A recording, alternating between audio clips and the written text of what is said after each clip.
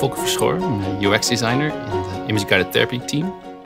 And I work mostly on the new and developing technologies in that, in that area, in the con context of minimally invasive surgery. There's no typical day uh, in the life of uh, the work that I do. You analyze the situation, uh, you, you try to find the problems, think of solutions for that problem, and then build something and test it with users. That's, that's as simple as that, I guess. So, my name's Penny, and I'm an interaction designer at Philips. I've been there for about two and a half years. Essentially, my role is to um, help the researchers turn emerging technologies into usable products. I think I've always been sort of fascinated by uh, the potential of new technologies and the, and the, uh, the, possibilities that they bring for creating new experiences. And um, I think being in health tech at Philips is just a unique opportunity to do that in a space where it really has the potential of like impacting people's lives. This is of course not only of the, the patients and their families, but like also the, the healthcare staff that is treating those patients. Design for healthcare is is is very challenging. There's things that you want to do as a designer. Sometimes you want to be somewhat more creative or elaborate in your designs, but you have to really bring yourself back down to earth. And um, that's not necessarily to say like building the algorithms to make things happen, but helping define how those algorithms may serve a purpose the field that I work in, in the area that in, within Philips that I work in, um, we're involved very early in the process. So often, if you're doing uh, like the final designs, then you get involved quite late.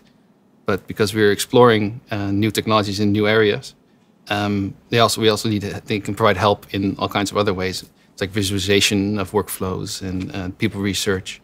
Um, yeah, so it's really at the start of when projects get kicked off is the ideal moment that we would like to be involved. The uh, so interventional radiologists um, using Philips systems came to Philips and um, really wanted a better way of using uh, using the interventional systems. So using the systems in the cath labs, they have a space that is just full of equipment and people, and trying to optimize for viewing of these images that guides their procedures. That was something that they really wanted and they really need. IGT, image guided therapy, is about um, providing ways to treat patients minimally invasively.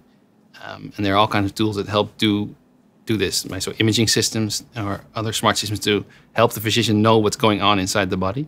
I, would say a good analogy for this is um, uh, using a maps application where you can see a route and you're trying to follow that with your car.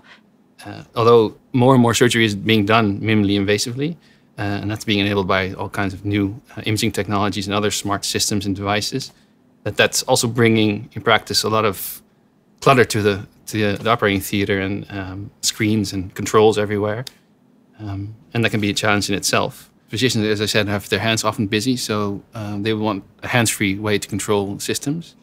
Um, so we're experimenting with uh, exploring using eye gaze for that. But the use of AR, is um, definitely an extension of um, the user's abilities, and it's giving them this superpower in a sense where they can control everything from their perspective and you don't need to rely on other people to do things anymore. Thing everything is within your reach and um, that's the kind of magic of augmented reality is that it turns you into a little bit of a superhero. We're working with the HoloLens 2 in this project uh, which is the second release of HoloLens from Microsoft and what they focused on this release, aside from creating the, this virtual content that can be placed and react to the physical environment, uh, they also focused on what they call natural interaction. So you can use your voice, your, your hands, and even your eyes to interact with the virtual content, uh, making a much more natural way of interacting with, uh, with digital systems. And our initial designs had a lot of feedback, and things were flashing and moving about. Uh, but then in the end, actually, I think due to this process of really collaborative uh, prototyping with developers, we iterated reasonably quickly towards a solution that, and in the end, was also like one of the key and well, most well received features of our demo that we showed to like over 400 physicians at the, the SEI conference. Whatever we create for tomorrow, there's much higher expectations of what that should be than how functional that should be because because there's just been so much improvement over time.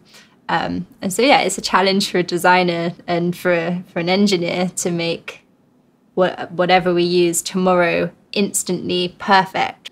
And I think yeah, if we uh, if we do our job well and get that technology out of the way as much as possible and allow them to focus on treating the patient and providing that care, that's what I think one of the, what drives me most.